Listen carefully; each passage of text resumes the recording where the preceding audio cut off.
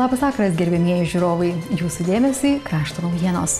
Šį vakarą matysite ir išgirsite, kad pėstieji nepaiso kelių eismo taisyklių. Kedainių arena įsigijo ilgai lauktą pirkinį. Balos ne vieta žaisti vaikams. Daugia kultūrį centrą papuošė margas gyvenimo rūbas. Miesto gimtadienio progas surinktas dviračių žygis ir naktinis bėgimas miesto gatvėmis. Kelių eismo taisyklių nepaisantis pėstieji rizikuoja savo saugumu.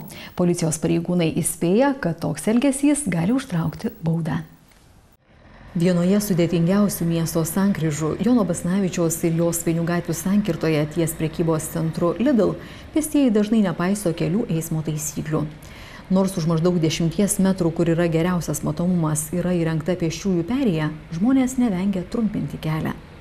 Neleistinoje vietoje gatvę kerta ir jaunimas, ir lasdelę pasiramšiuojantys seniorai, ir netgi jaunos mamos, paskui save už rankos temdamos ir mažamečius vaikus. Vieni eina baišiai dairydamiesi, kiti vengdami atvažiuojančių automobilių bėga per gatvę. Treti net nesivargina nulipti nuo dviračio. Domėjomės, kas verčia žmonės taip rizikuoti. Kodėl ėjot ne per perėją? Ta, kur ta perėja dar toliau? Už kelių žingsnių? Ui, nemačiau.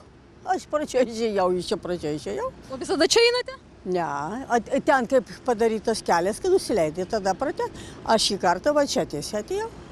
O kaip galvojat, ar nerizikuojat tai besielgdama? Rizikuoju, bet, bet klausykit, nemačiau tikrai, kad ten perkelta. Visą laiką pažiūrėkit, o į mergaitę, o į, į visieidavo. Kai kurie pėstieji bandė įrodyti, kad pėsčiųjų perėja per jos Vainių gatvę įrengta nepatogioje vietoje. Tikrai nepatogioje, nes parduotuvė čia, o, o, o eiti toliau tikrai reikia. Ar dažnai taip trumpinat kelią? Ne, ne, dažnai stengiuosi laikytis taisyklių. O kodėl šiandien rizikavot? Nu, tiesiog nebuvo mašinų ir toliau reikėjo eiti. Šiaip galvojat, ar saugu? Taip. Na, aišku, kad ne. Vieni prasižengę pėstieji pripažino ėję neleistinoje vietoje, kiti buvo įsitikinę, kad jokio pažeidimo nepadarė. Esą ėjo per perėją. Perėjai, nu tai ar ne perėjai? Nu, Tai perėja už kelių žingsnių? nu taigi dvi perėjos, nu viena čia, kita ten, nu ar ne man? Čia perėjos nėra. Nu gal ir taip. Nu. Taip galvoja. Tai daro įspūdis, kad yra ta perėja. Va, moteriškiai irgi eina, kad ne pačią perėją. Tai sakot, kad netinkamoje vietoje ta perėja įrengta? Nu, man susidaro įspūdis, kad čia perėja yra, suprantate, va ir viskas. O į ženklus nežiūrėjau. E, Tai žmonės klaidina? Nu, tai be abejo, nu, o ką nematot? Jono Basinavičiaus ir jos Vainių gatvių sankirtą stebėjome dvi dienas po maždaug 20 minučių. Per tą laiką gatvę neleistinoje vietoje kirto keliolika žmonių.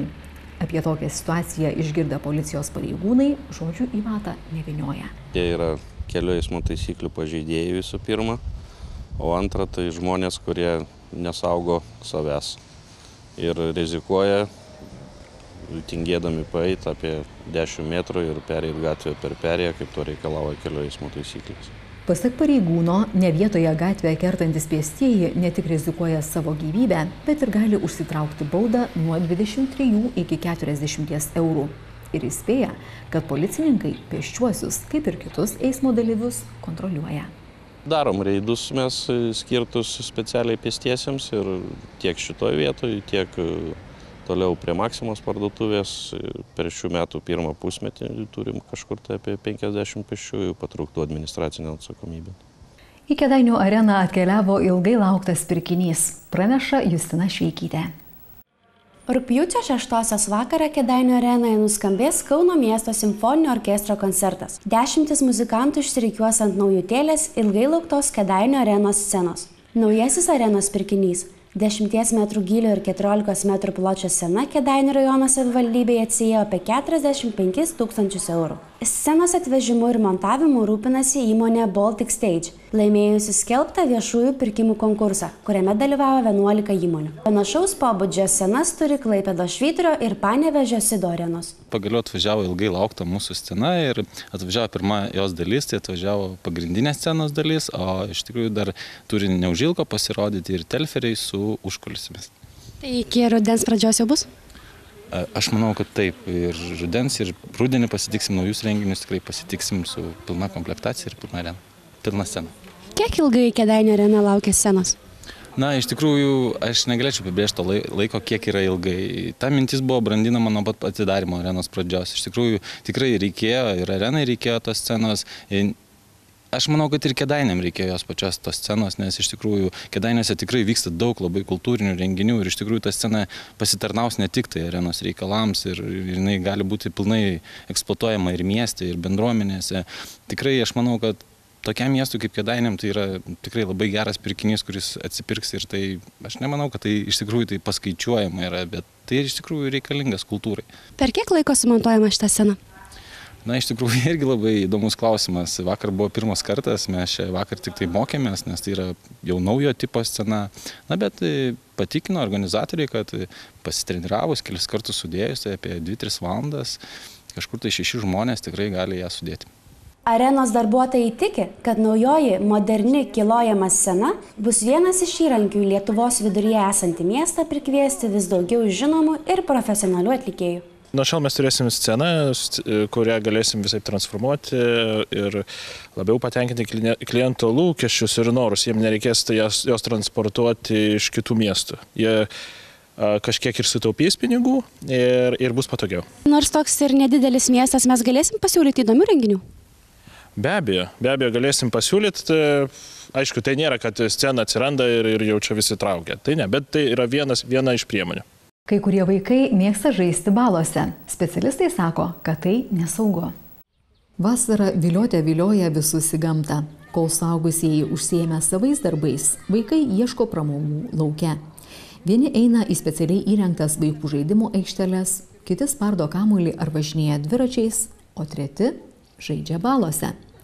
Praeinant daugiabučių namų kiemais nekartą teko matyti maždaug 5-7 metų amžiaus vaikus, kurie po lietaus užsilikusiuose balose tai nevažvėjoja, o kitą kartą mažamečiai iš purvino vandens rieškučiamis semia smėlį ir lipdo bandeles. Paklausus vaikų, kodėl jie žaidžia balose, mažieji atšauna, kad turimi žaislai jau pabodo, o sėdėti namuose prie kompiuterio nuobodu. Pasak vaikų, žaisti balose tėvai jiems leidžia, tačiau sveikatos priežiūros specialistai tokius žaidimus vadina nesaugiais. Bala tai yra nešvarus vanduo, tai yra teršalai tiek mašinų, tiek aplinkos teršalai, tiek galiausiai bakterijos, virusai, sporos, kurios gali būti gamtoje visos, kokios tik yra. Plus vaikai žaisdami paprastai jie nesilaiko hygienos įgūdžių ir taisyklių, e, plauti rankelės po kiekvieno žaidimo prieš valgį. Ir tokiu būdu yra didelė rizika, kad jie na, tiesiog gali užsikrėsti sunkia užkrečiamąją lygą tai gali nebūtinai pasireikšti iš karto šitos lygos. Jos yra lėtinės lygos, ypatingai kirmeliniai susirgymai per 10, per 20 metų gali vystytis cistos tiek kepenyse, tiek smegenyse ir iš tikrųjų reikalingi specifiniai tyrimai, kad nustatyti šitas lygas. Todėl vienareikšmiškai tėvams pasakysiu, kad pasirūpintų savo vaikų turbūt saugumu, žaidimais, kad jie būtų aišku tikrai ne namuose vasarą, o lauke, tačiau yra daugybė priemonių. Dabar yra ir pasirinkimas e, specialių smėlio dėžių, kurias galima ir uždengti. Galiausia tą smėlį galima įsigyti jau per kaitintą, kuris tikrai yra saugus vaikams ir tokiu būdu tas dėžės vakarui uždengti. Galima galiausiai ir pernešti į saugesnę vietą. Daugybė yra priemonių, kurias galima panaudoti vaikų žaidimams vasaros metu. Tik truputėlį reikia kūrybos, truputėlį reikia fantazijos ir be abejo laiko ir dirbti su vaikais. Šiandien daugiau kultūrį centrą papuošė margas gyvenimo rūbas. Jį kūrė Liucija Šepkutė Banaitinė.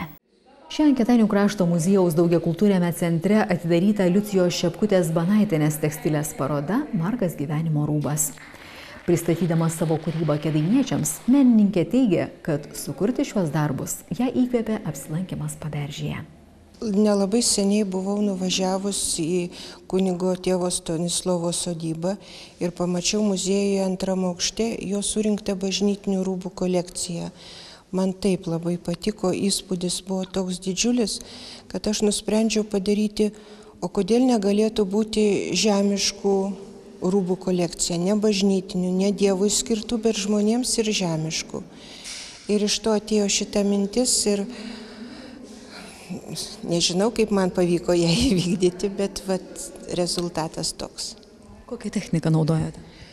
Čia tekstilės technika, aplikacija ir siuvinėjimas. Sudėtingiau sugalvoti, kaip turi atrodyti darbas ar išpildyti savo svajonę.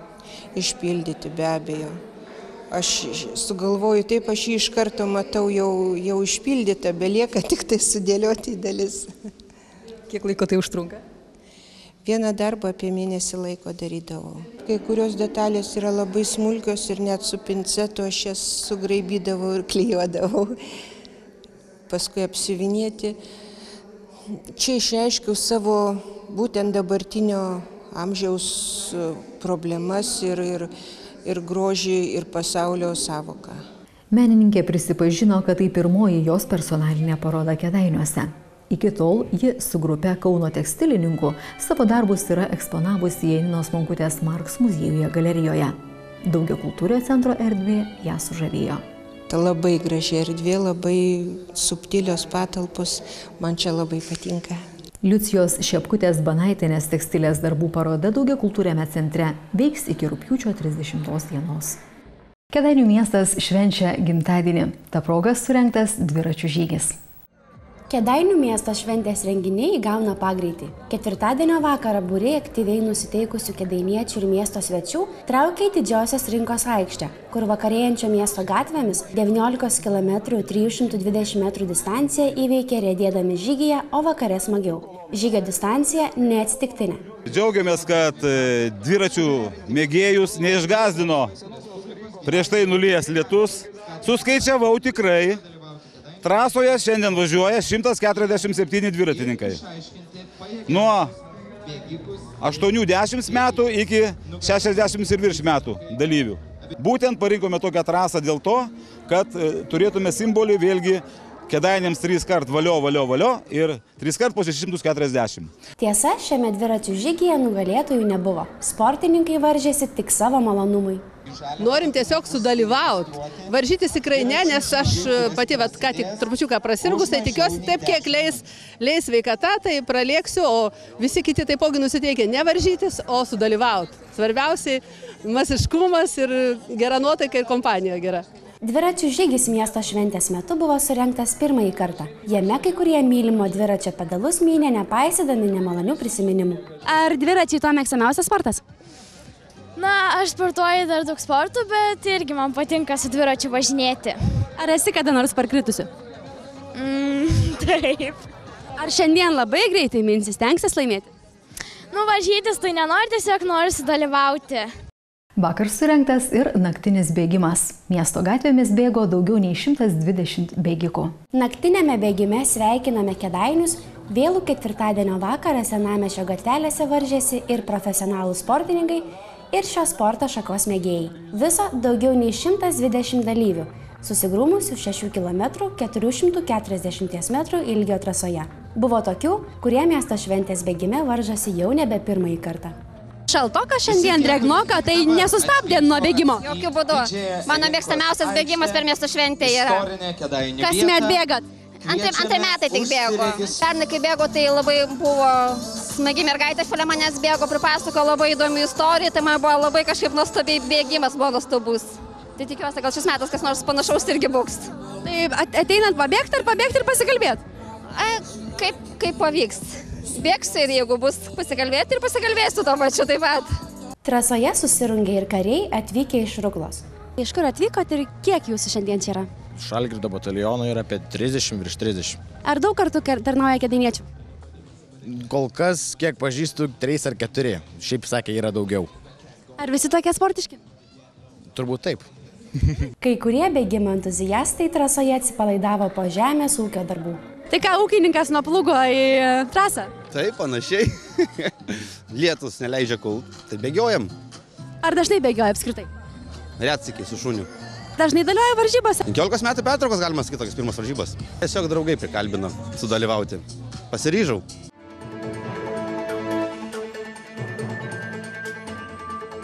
Dėkuoju, kad šį vakarą buvote kartu su mumis. Pasimėgaukite miesto šventę. Gražių įspūdžių.